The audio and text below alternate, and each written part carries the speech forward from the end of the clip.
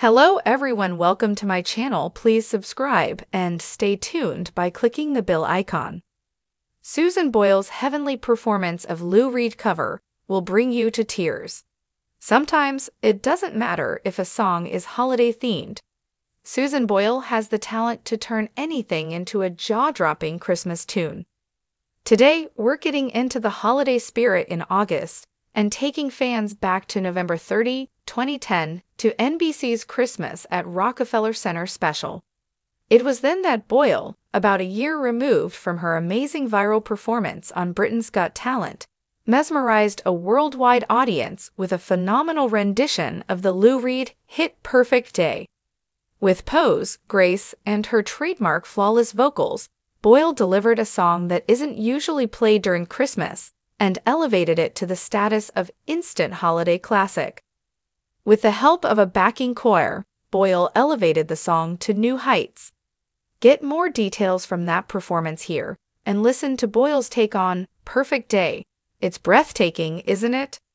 Simon Cowell said about Boyle, she is just the most incredible person.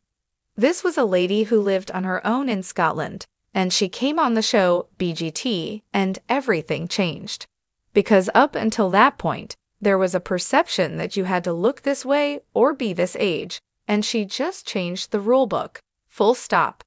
Here's what to know about Perfect Day.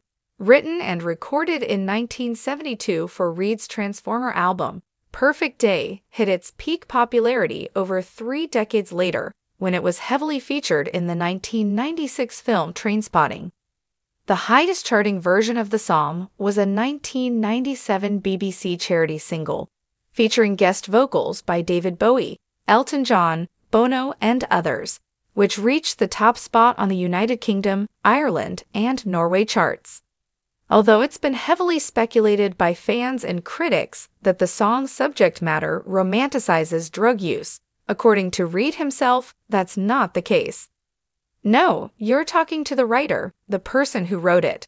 No, that's not true, Reed revealed in a 2000 interview. I don't object to that, particularly whatever you think is perfect.